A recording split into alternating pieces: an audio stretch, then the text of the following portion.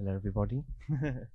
um, I should perhaps say that I'm not necessarily an expert about vultures, but I do really, really like them, and I know something about them. And uh, it's actually really nice to hear that, Avian. That's the first time I've heard that um, uh, on the uh, on your recording.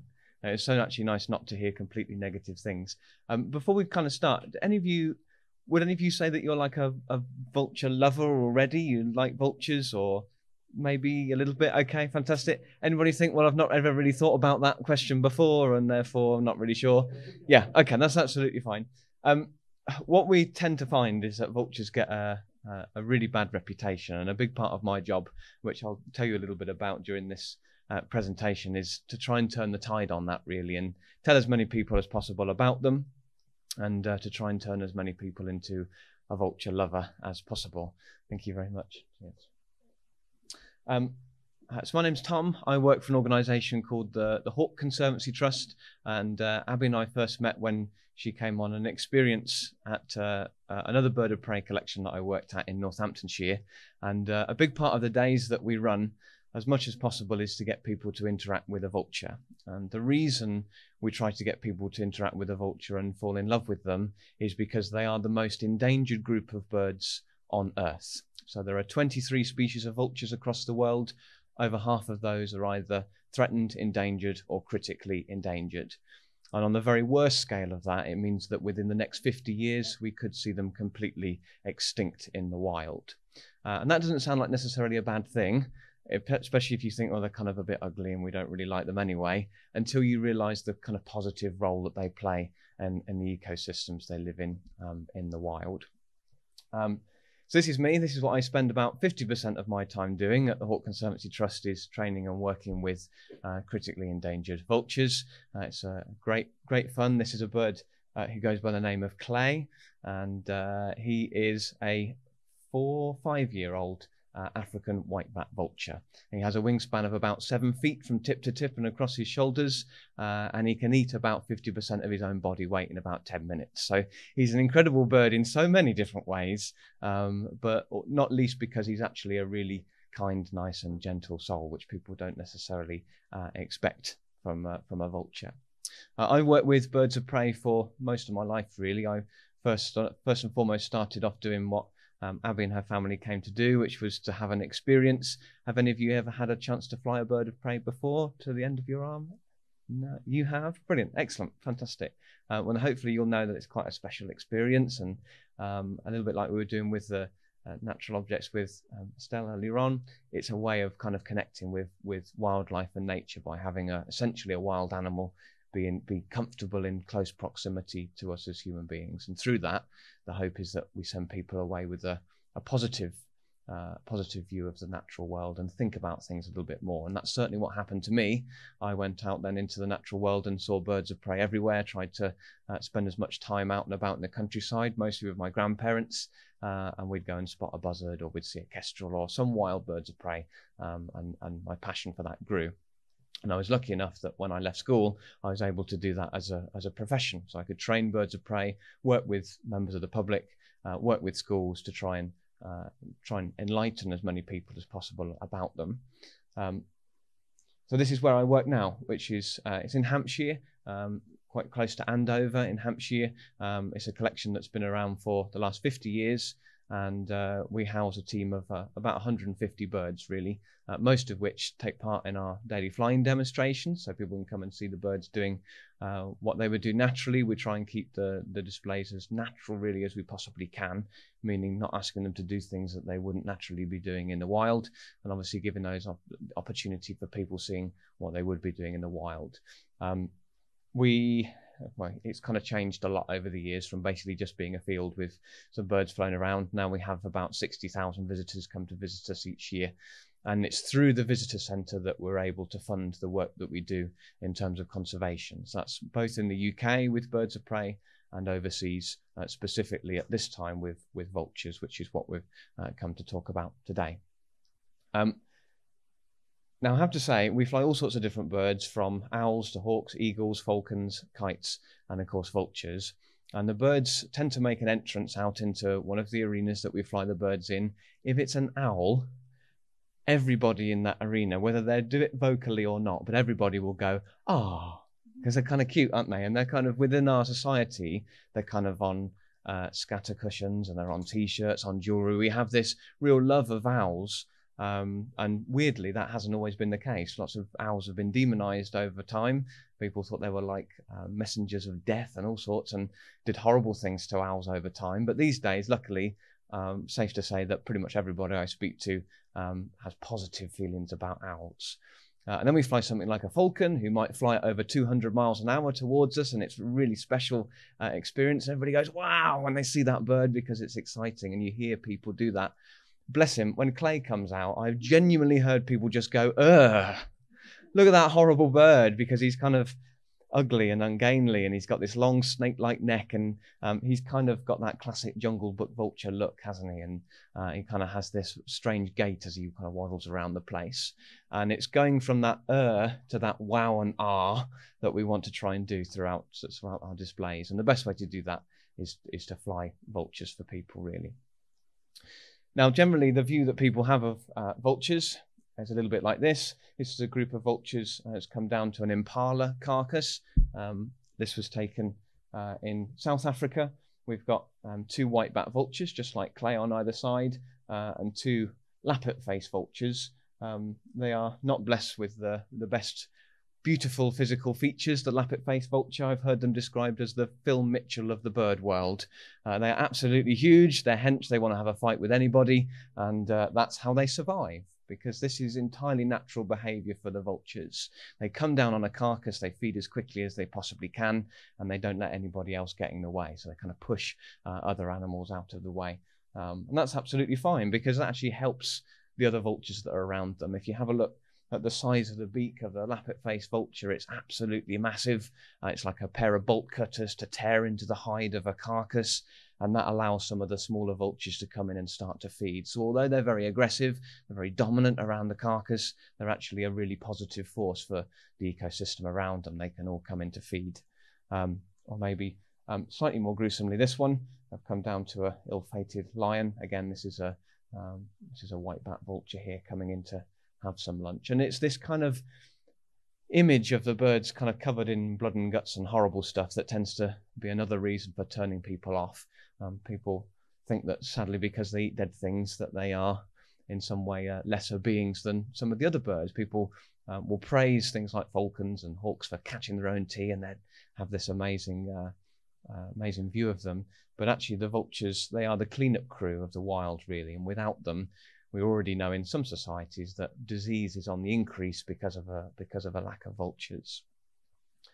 Um, this is an incredible video um, that uh, that we use quite a lot to display just how important and vital vultures can be um, for their ecosystem. So this is uh, a group of around 50 white-backed vultures, again coming in to feed on an impala carcass, um, and this is showing us in real time how long it's taking them to, to feed. As I say, it's a little bit, bit gruesome, but it gives an opportunity to realize why we think vultures are important. In fact, we're learning more and more why uh, why they're important. And It's because of their ability to do this.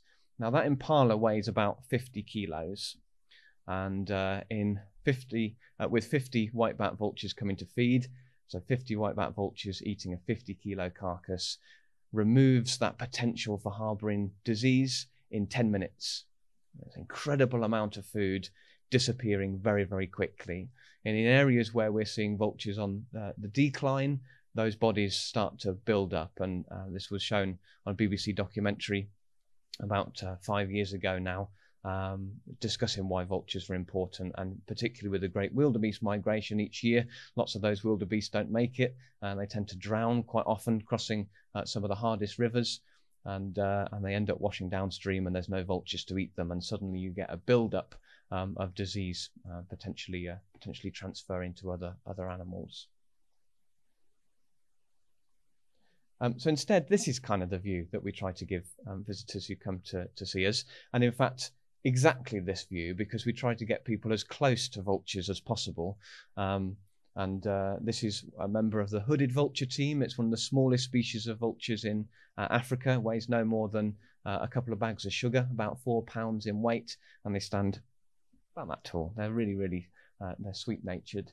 Uh, this bird's name is Fagin, and he's so called because he's very good at stealing food out of the bird of prey team uh, pockets. So he's kind of a, a pickpocket by name and by nature. Um, but have a look at his face, and this is one of my favourite things about a vulture. And if there's anybody uh, by the time we've finished flying them uh, that uh, that still doesn't feel like we're they, they've fallen in love with a vulture, it's this. Um, very very pink face as you can see, and that's kind of entirely natural. Um, but when they're kind of in the aviary or even in the wild, when they're kind of sat up in the tree and they're roosting, there's not a lot going on. Their faces are actually completely pale. Um, they're a similar colour to their legs and their feet, which are like a pale greyish colour. When they come out and they're flying and they're feeding, they're getting excited. This is a bird that literally blushes with excitement. And if that isn't really cute, I don't know what is. Uh, I think it's fantastic. And they do this to communicate with each other. They actually haven't got very much by way of a, a voice box. Uh, they don't c- communicate very much by sound, so instead they do it by colour. And this is Fagin saying to the other vultures around him, This is really good, you guys. Come down here. It's entirely safe. We're having a wonderful time, and there's loads of food to eat.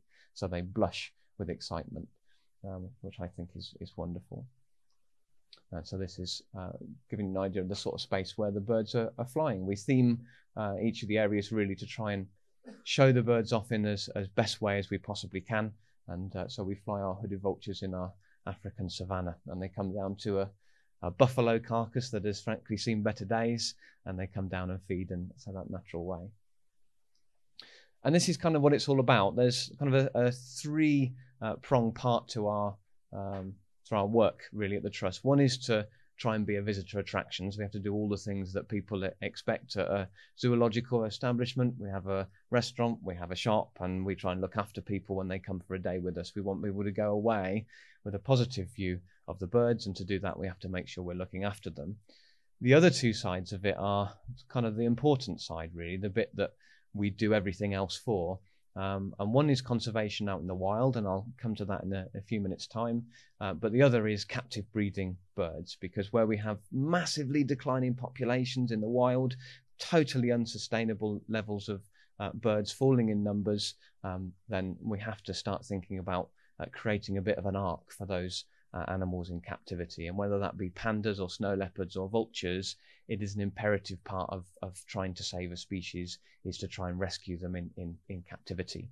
Um, so we're very lucky. We have a member on our team who holds something called an EEP, European Endangered Species Program. It's essentially like a like a dating app for uh, endangered animals. Really, it's trying to get the right match uh, in terms of uh, bloodlines and characteristics, size and shape between uh, the different birds. And this is uh, part of the success of doing that well. And one of my colleagues, uh, Jane Robertson, she holds the EEP, and it's her job to make sure that all of those matches go well. Um, so this was one of the babies from from a few years ago. His name is Cassius, and he's still a member of our flying team at the Trust. But many of our birds that are bred at the Trust, they go off to have lives elsewhere across the world to become a further part of that um, breeding population in, in captivity. The eventual aim of all breeding in captivity for any zoological establishment is, of course, to re release those birds back out into the wild. The reason we're not doing that at the moment is because, in fact, the wild isn't very safe for them to live in. And so we have to fix the problem in the wild first, because releasing a bird like this is, uh, well, could potentially be a, a death sentence to that individual. Um, and because they only have one chick every year, they are incredibly precious. Um, and, uh, and so we can't, can't afford to be releasing them uh, in areas that are not safe. Um, possibly the most beautiful species of vulture to me is this one. Um, this is a, a white-headed vulture. This bird's name is Angus. Uh, he and his wife uh, Satara are the most successful pair of their species in captivity in terms of breeding anywhere in the world. And this year we welcomed their fourth chick uh, to the trust, uh, as yet unnamed because he's not done anything with us yet. She's um, still being looked after by mum and dad in in the aviary. Um, but uh, this is a critically endangered species in the wild, and we're still learning um, how to how to um, protect these birds out in the wild. Um, and this, I don't know whether I can click a video. Can I click a video? Do you want to see if you can get that to play? I just wanted to show you something. Oh, there we go. Oh, it doesn't want to play. Oh, that's all right. I just wanted to show you Angus and Satara with their baby from last year because kind of another thing we try and tell people is how wonderful they are as parents. As I said, they only have that one chick every year, which obviously, you know, they need to put all of their eggs into one basket. That's right. Um, and so they they they are so so attentive um, for a really short time in the year. So they'll have their egg. Egg takes about uh, 40 days to incubate to hatch, and uh, then they'll spend the next 10 weeks completely doting on that bird. Um, incredibly, each of these birds, they're, they're huge, by the way. They have about a, just a bit bigger than clay, about seven and a half foot wingspan, and uh, they weigh in at about 12 pounds in weight at their biggest. So they're absolutely massive, and yet they'll go from an egg about that big uh, to a fully grown white headed vulture in about 10 weeks. So that's partly why mum and dad have to be so good. They need to find loads of food to keep that growth rate going. So vultures across the world, as I say, over half of them, uh, half of species are either threatened, endangered, or critically endangered. Uh, those in the states have uh, their own issues, largely down to uh, poisoning or eating things like lead shot has been a, a massive issue, and also just general persecution. Um, the Andean condor, the Californian condor, most famously, uh, now is slowly, slowly recovering in terms of their numbers.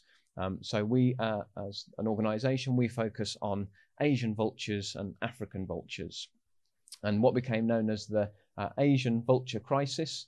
Um, uh, over the last uh, 30 years or so, we've seen a 99% decline uh, in uh, Asian vultures, owing largely to a, drug called diclofenac. It's an anti-inflammatory ingredient that was given to cattle to treat lameness. And uh, if you've ever taken Voltarol for any aches and pains, it's the active ingredient in Voltarol. Uh, unfortunately, it is poisonous to vultures, and we think probably poisonous to other species of raptors as well. Um, and uh, it's now been banned in most parts of Asia where we saw the biggest declines. Uh, it is currently in the process to continue being licensed to be used uh, with, within Europe. And we have over half of the world's population of vultures in Europe. And something that we know caused a massive decline and almost extinction of species in Asia is still on the cards to be used in Europe. So that's kind of a, another point that we're targeting at to try and uh, potentially limit the, the damage of that. But we did two things to try and halt the, the population decline in Asia. One was to develop a vulture safe zone, uh, and we create things called vulture restaurants, which sounds like a quirky name, but it's a genuine thing. It's a safe place for vultures to come down and feed, and we'll supplementary feed them with, with safe food so that if they are going off and feeding on other things, they've got a choice really. They can come in and feed somewhere that, that is kind of protected. Uh, and the other thing, just like uh, at, the Trust, we develop a captive breeding program uh, with these birds, which are called Asian white-backed vultures, very similar to clay, uh, kind of their Asian cousins, if you like. Uh, and as you can see, over the last uh, few years, we have had success. We did actually have another chick this year in 2019, and other projects that are very similar have begun to start reintroducing those birds now that diclofenac is being used less and less within those environments. So positive news, really. Unfortunately, the biggest focus on our um, well, really on our sites at the moment is the work that we do uh, in Africa. Um, the issue in Africa is predominantly poisoning incidents, and I'm sure you've all heard of the ivory trade. It's kind of like the big bad wolf of wildlife crime, uh, where people will uh, slaughter elephants in order to try and uh, get their tusks. Um, and in part, vultures are very, very key to fighting that trade because where an elephant has been shot, vultures will start to do what they do best and they will circle overhead and very often in, in large numbers. And if you're a game guard trying to search many hundreds and hundreds of square miles to try and find a poacher and catch them in the act, having kind of those sentinels in the sky flying around is a really good indication of where you might find uh, uh, some, somebody doing something untoward. And so they follow groups of vultures around. They use them as help in the sky to try and find what's happening down below.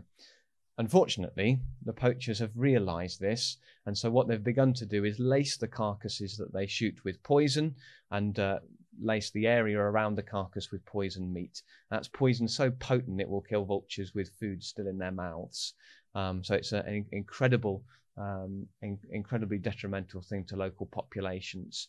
Uh, fairly recently, back in uh, earlier this year in the summer, we had one incident uh, in a national park in Botswana, uh, where uh, three elephant carcasses have been poisoned, and over 600 vultures came down to feed on that those three carcasses, and over 600 vultures lost their lives. And with an endangered species, we know that things like the white headed vulture, those beautiful birds, all those colours, critically endangered in the wild, they've become locally extinct in some parts of Africa now be- purely because of those poisoning incidents. And so uh, we started something called our Poison Response Action Campaign, uh, training uh, game guards uh, across Africa, but mostly uh, in South Africa and parts of Kimberley, uh, to deploy the use of these, which is a poison response kit.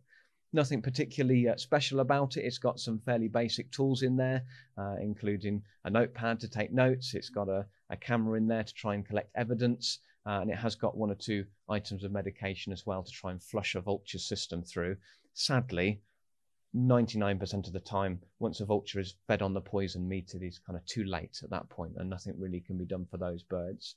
But what it's about is securing that carcass and removing it from the environment as quickly as possible. It isn't just the vultures that get affected by that poisoning, it's other species as well, um, including some uh, endangered mammals as well, like hunt, painted hunting dogs. Um, you can kind of see the effect that that work is having. Um, the orange line gives you an idea of how quickly we could expect a complete eradication of vultures um, over the next 50 to 80 years. Um, it's still a downtrend even with the work that we're doing at the moment.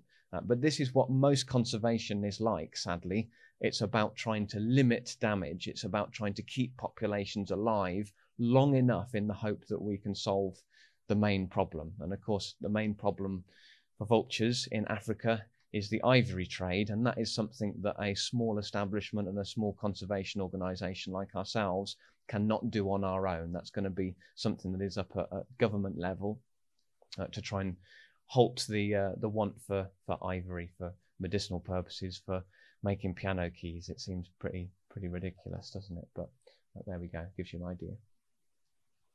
So I was lucky enough um, last year to head to Africa to be a part of this work, uh, and we were working in uh, National Park in Kimberley, uh, in Mokala National Park, uh, as well as Dronfield National Park, uh, doing, well, essentially processing as many of the young birds as we could to try and track what their success or failure might be, where they were found, where they were picked up, how far these birds travel. Uh, and so we'd put wing tags on the birds. We would uh, take samples from the bird to try and find out if we had more males, more females in certain areas, to try and really get to know the group of birds that were in those areas. Um, and this bird here, this is bird T369. Um, that was the first bird that I climbed up into the top of a very spiny acacia tree and brought down a little plastic bucket ready to be processed for uh, for everybody to see. Now, I've always hoped that I would hear of a sighting of T369 since then, and nothing has been heard. But I'm kind of sobering the fact that that actually might be a positive thing because largely these vultures only get picked up in terms of their wing tag numbers uh, when they are keeled over on a carcass having been poisoned. So we don't know where T369 is, but we know that they haven't been found uh, having been eaten or having been poisoned by um, human beings. But I think they're really cute, aren't they? It's absolutely gorgeous. Um, so we're trying to really understand the populations in the wild. And one of those things that we've worked out is that unlike with a lot of mammal species where we could make a massive fence around maybe a national park and hem them in, these vultures travel such huge distances that they are countrywide. They'll travel up and down the continent of Africa throughout a year with no problem at all. And so uh, we have to work right across countries, across governments to try and uh, protect these birds as much as possible. And having come back, um, I uh, did a few uh, talks to people uh, about how these birds could be saved and how they could be protected. And one of the main reasons is to turn the tide on how they're viewed. People thinking that they're horrible, disgusting, and ugly is uh, is not the right way about it. And uh, I think we touched on this a little bit earlier on, um, but this was a quote that I first heard when I first went on that flying experience day all that time ago. Sums up everything I think about why we need to spread a little bit of love for vultures because they eat huge amounts of stuff that other parts of the ecosystem can't eat, and if they do, it spreads a disease to the rest of them. And uh, and they're just wonderful animals in their own right, and have every right to the amount of attention we give something like a a panda or a snow leopard. And just because they're not as pretty doesn't mean they're nowhere they're nowhere near as important. Um, so thank you for listening to me, and hopefully we've got a few more vulture lovers in the room. But thank you, Thank you.